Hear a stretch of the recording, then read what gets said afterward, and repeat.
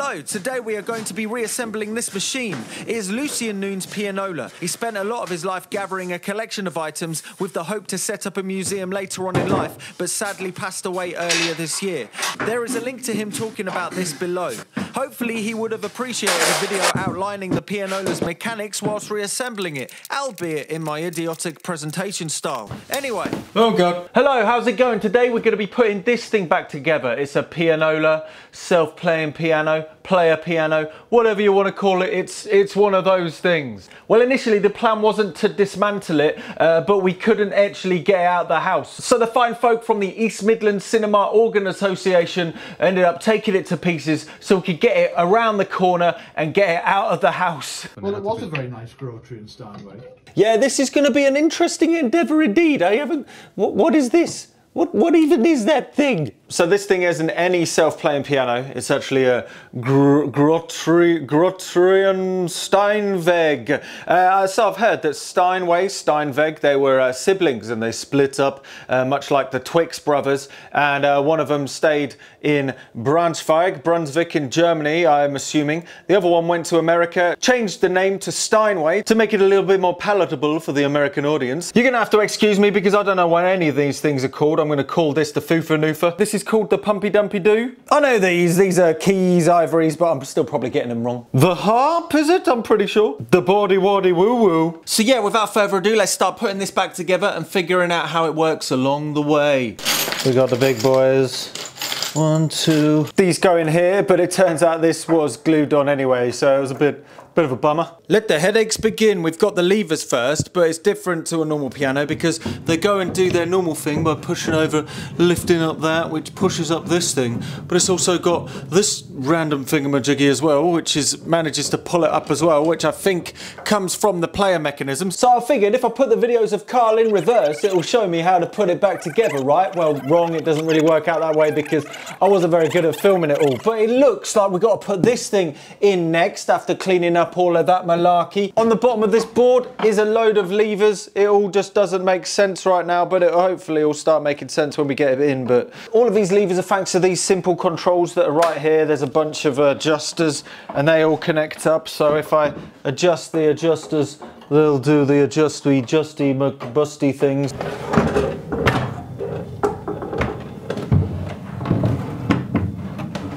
Line up the holes.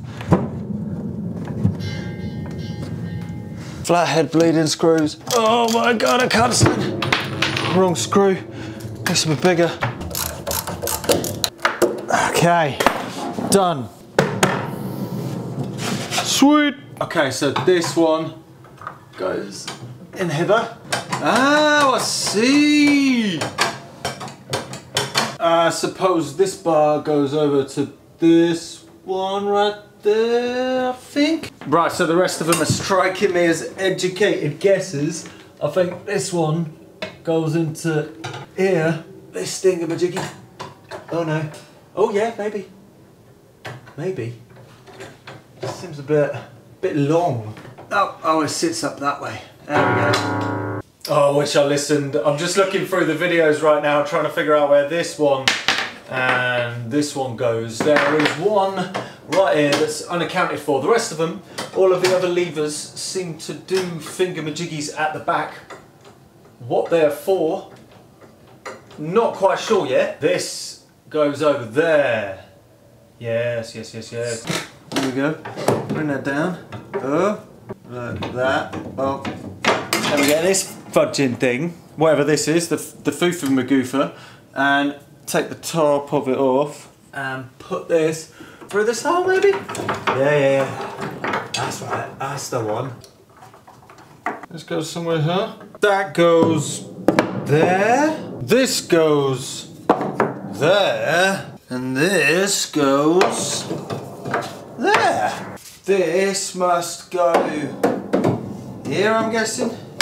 Yeah, that looks about right. Let's pop this one in. Yeah.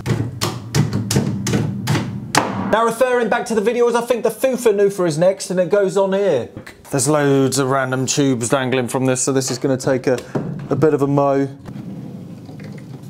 I'm not going to screw this down yet until we figure out what the tubes are doing. What are the tubes doing? Tubes everywhere but nowhere to go. What's going on? So these are for your themodist. There and there. They all seem to be different sizes, but this one I seem to remember connected to this splitter box. I'm going to say splitter box. This one's the smallest size, so just go, or is it the medium one? Oh, I don't know. So I'm just I'm going to put it there for now, and if it's wrong, it's wrong.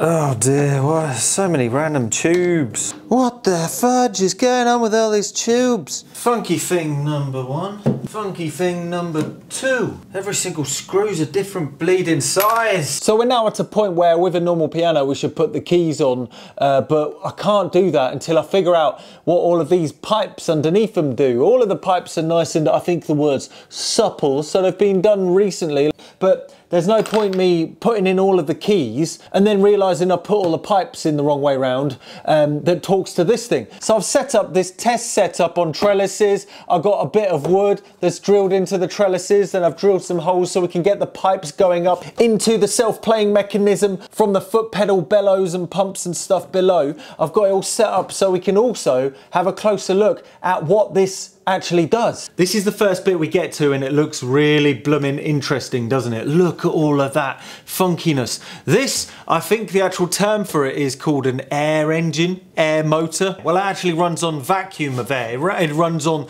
the lack of air. There is a bit of foreboding there. We'll need Henry's assistance in a mo. But as you can see, there are five sets of bellows, air chambers, and these all connect up to this, I guess you could call it a crankshaft basically. And on the other side, they are timed via the same crankshaft uh, to open and close and come to air pressure. So if you see when we open up this, it goes straight into the bellow chamber right there. And the air, well, the lack of air, the vacuum, so it's sucking air from it, is coming into here, well, coming out of here. And this, in essence, sequentially uh, causes a vacuum in each of these bellows, which ends up spinning the crankshaft in a smooth fashion. I mean, I've probably done a bad way of describing that, but that's really interesting. Shall we give it a go?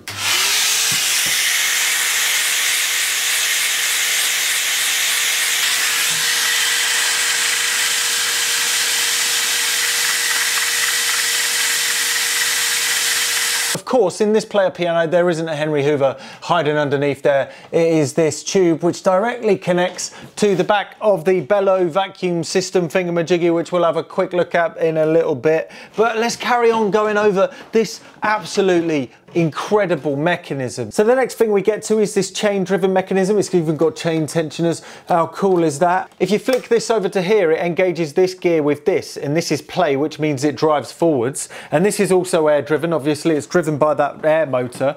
So now we can make it go forwards just like that. This is pushing it forwards, but this linkage is also set up to push this backwards and drive this chain. And then that ends up rewinding it because the piano roll will be in the top right here. Play, rewind, play, rewind. That, the, the, funkiness on the plane rewind doesn't stop there. When we flick it over to rewind, this linkage also goes over to the back of here, and there's an air switch right here that in essence turns it off and stops the piano from playing when it's rewinding. So this just kind of shuts all of the actuators at the bottom off. It's, it's, it's amazing. Maybe out of curiosity, when we get it all set up into the piano, we should disengage that so when we rewind and we can hear it being played really quickly backwards. That'd be pretty cool. Let's load a piano roll into the player mechanism, like so. We get the hook on the bottom of the piano roll and we pop it into this little hook right there. And now if we click on play, it slowly drives forwards. I'm currently pushing on the pedals at the bottom. It goes down and then after a moment, you'll see it's allegro and then it actually starts playing. I think these might be the sustains because they're called snake bites. So remember Carl saying something about snake bites. So that controls what are called snake bites, which are in the roll. And they look like snake bites and they're going over a tube. So I think that's the auto sustain. We'll have a look at that. Um, these are all the notes, of course, and they're running over tiny little holes. So this is what the piano roll goes over. And as you can see, there's a load of tiny little holes. These correlate to the little holes that are inside the piano roll. Each of these holes right here are designated to a separate note on the piano. Much like the motor, everything in here is vacuum driven. It's not like the organ where the organ blows air out. This is actually sucking. So I think that these are all sucking onto the paper and then the second there's a hole in there, lets air through, that ends up traveling through the pipes around the back into the air pistons that we'll have a look at in a second, which end up playing the piano keys. Yeah, I think so, something like that. Then it goes over to this section. My understanding is this is the tracking section. The whole reason this bit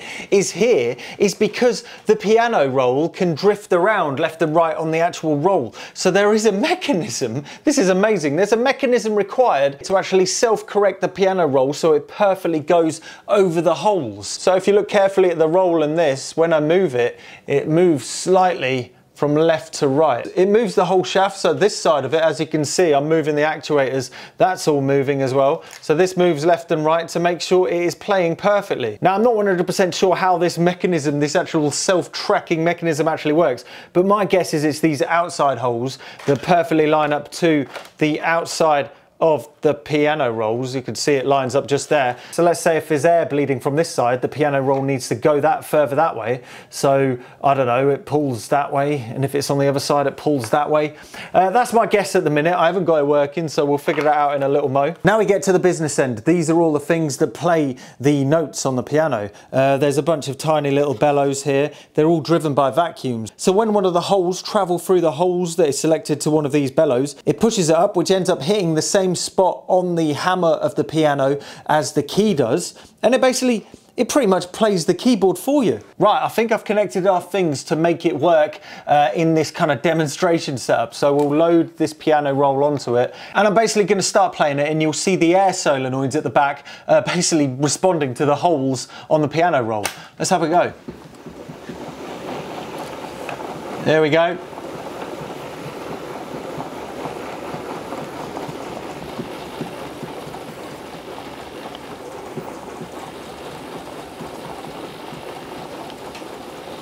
The way the solenoids actually receive the air is pretty interesting as well. It's actually through the legs. The legs connect up to this bit, which is uh, connected up to the piano. Then that connects via the tube over to this big lump of junk down here. This is basically a foot-powered vacuum pump. This is much like the organ's air capacitor, but it's backwards because it's actually a vacuum reservoir, a vacuum capacitor. When I'm pedaling, it actually sucks in and stores a vacuum instead of stores air. That's awesome, isn't it? There's a bunch of funky, complicated things. I'm still figuring it out. I think this is something to do with the tempo. There's a load of other thingamajiggies. And here's a video of when I'm pedaling it from the back.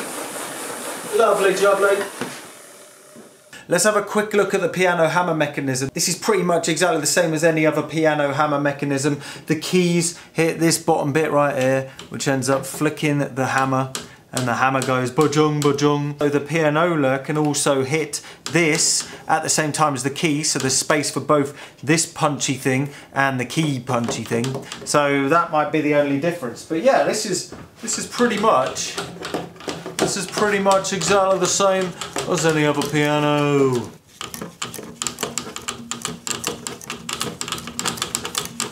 First thing we're going to do is we're going to fit the hammer mechanism. Remember we're not fitting the keys because the keys would fit here first. Bloody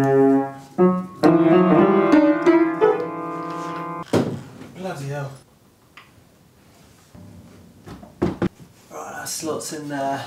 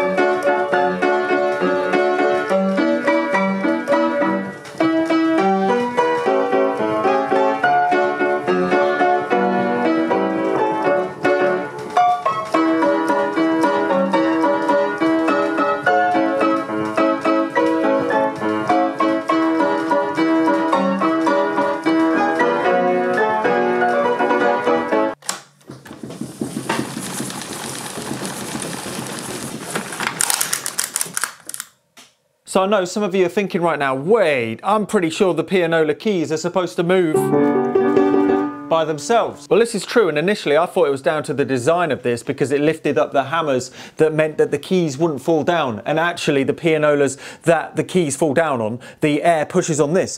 But it turns out that pretty much all pianolas actually still hit on the hammers. That's because there's a lot less force to hit these than to push these down. I've got a bunch of 1Ps here and we're going to measure the down weight of the key. So what we're going to do is we're going to stack them up on top of each other until the key falls down.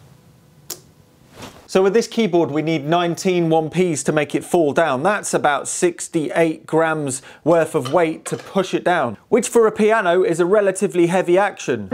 And if we take the key back out and have a look on the back of it, you'll notice that there's a couple of lead weights at the back of the key. If we put three coins on this key, and then lift up the hammer mechanism with our hands, you'll see that the key actually falls down. But of course, we can't have one piece glued on all the keys, it just wouldn't look right. So what I did is I started and knocked out this lead weight, put it back in and measured how many coins it would take on the front to make it fall down. I then took out this one, which reduced it by two coins, which is about seven grams. I then took both out, measured a weight on the front, and found it took three less coins to push it down. Three less coins is just the right amount for the key to fall down when you lift the hammer mechanism up. So what I've done with this key next to it is removed both of the weights. Put it back in and this takes 16 coins to fall down, which is about 50 grams, which is a perfectly adequate key weight for a piano.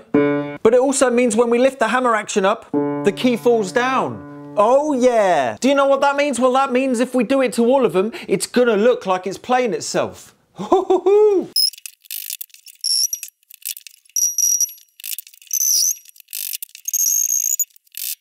Well, that took the best part of an afternoon. It turns out the down weight of them all were all varying here, there and everywhere. Of course, all of the weights were different, so it took a bit of trial and error to all consistently be about 16 1Ps, which is approximately 55 grams. But that just means it was quite a heavy piano to start with. Why? I'm not sure. But now all of the keys are front heavy. If we lift the hammers, we will see that they drop.